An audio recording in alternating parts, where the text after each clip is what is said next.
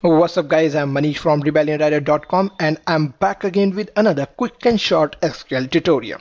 This is second tutorial in alter table series and 22nd tutorial in SQL tutorial series.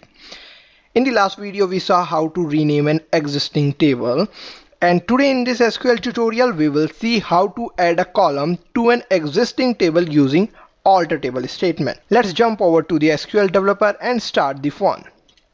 If you remember, we have created a simple table by the name of test, which has only one column test name in our last tutorial. So today we will add another column test ID to this table test.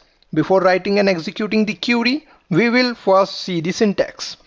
Our DDL statement starts with alter table where alter and table both are keywords which are followed by the name of the table in which you want to add a column. Then there is a add which is again a keyword.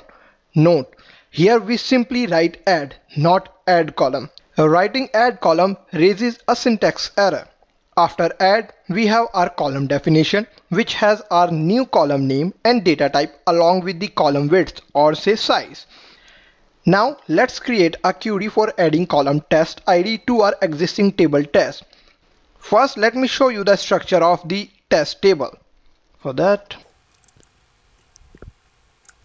as you can see it has only one column.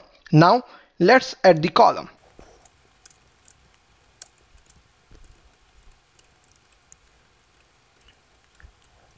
Statement start with alter table followed by our existing table name which is test then the keyword add and then our column definition where test id is our column name which has number data type and has column width 3 execute the query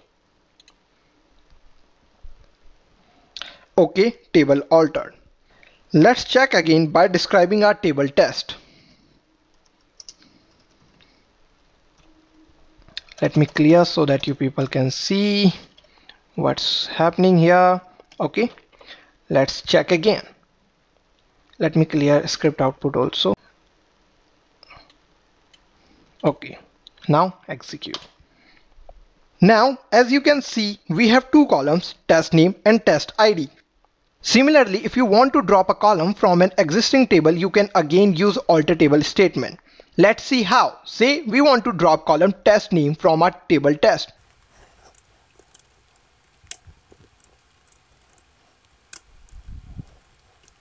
Let me clear the script output.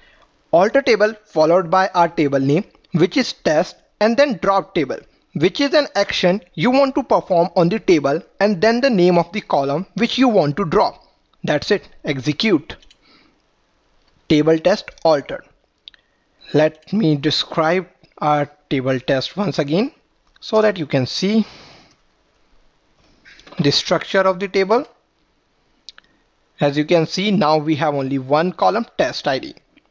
You can visit my website to read more such topic and you can download this SQL script from my website. Again, link is in the description box.